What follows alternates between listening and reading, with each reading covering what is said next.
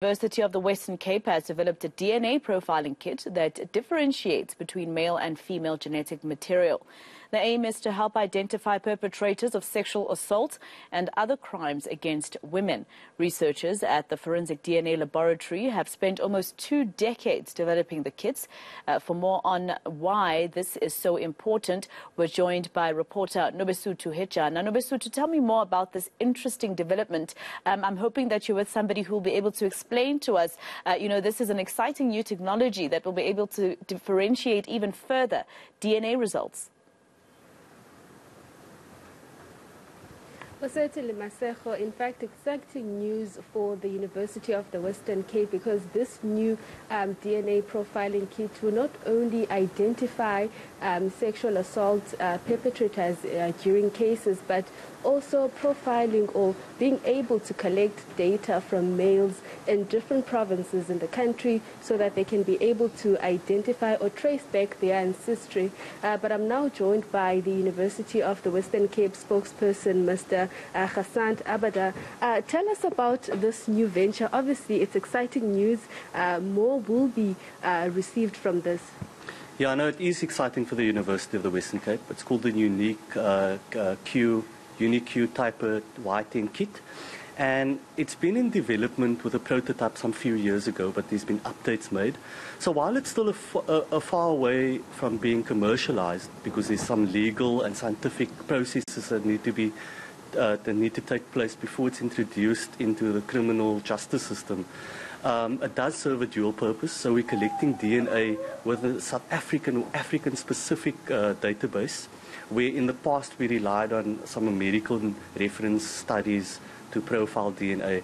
So it is quite exciting. The university considers itself as a research-led institution um, that prides itself with the UN uh, Sustainable Development Goals, and this is part of us making research relevant to the context of where we find ourselves in, in the global and national context.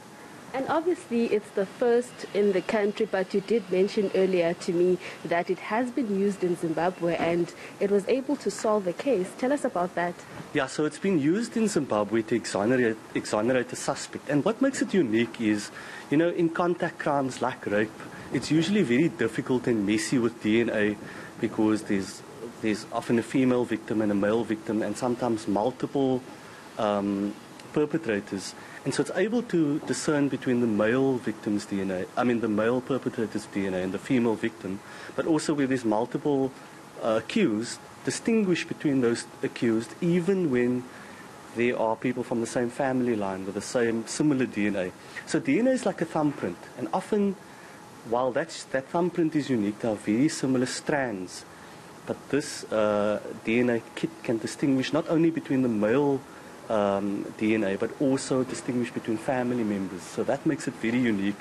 And we're excited that this can address some of the hesitancy in, in, in people reporting crimes like rape because there's a, there might be a, a lack of faith in the criminal justice system to solve cases.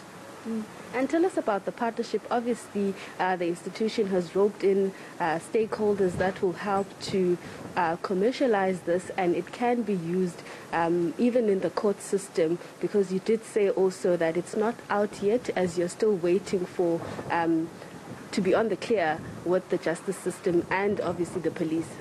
Yeah, and there's also scientific hoops that we still need to jump through before we can even get there. But we are working with two partners um, in the biotech space. So the one uh, partner in, uh, primarily in the SADC region is called Iklaba, and then there's another local company looking to commercialize this and make it available uh, widely to um, help the law enforcement agencies to to have a more clearer picture. You know, I mean when we watch television and programs like CSI, they pop a swab into a computer and a suspect's face comes up. And that's the Hollywood version of DNA evidence. So it's not like that. It's quite an, a complicated thing. But obviously, DNA evidence goes a long way to solving cases like these. And it can even look back at cases from many years ago if the integrity of the DNA data has been stored correctly and along scientific conditions that makes it possible to have unequivocal, unequivocal evidence. What's also exciting for us is South Africa has 16 population groups, the study found, that, that helped develop this kit. And so we're able to track particularly male, male DNA into the ancestry and how it differs from case to case. So, as I mentioned before, DNA evidence relied heavily on American studies, uh, especially Afro American and Hispanic groups. So now we're looking at a South African database. And in that study, um, the unique DNA of more than 2,000 male South Africans was gathered.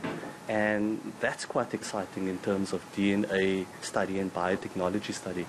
All right, thank you very much. Uh, well, Masego, that was uh, Gasant Abarder from the University of the Western Cape. I think the important note uh, that we need to take from this is the fact that he mentioned that um, this can also trace cases that probably took place maybe many years ago or 10 years ago, but if all the necessary uh, data was collected and stored properly, so it will be a major breakthrough to the justice system, system especially for gender-based violence um, victims who often uh, feel like their cases are not well um, looked after and there aren't many prosecutions.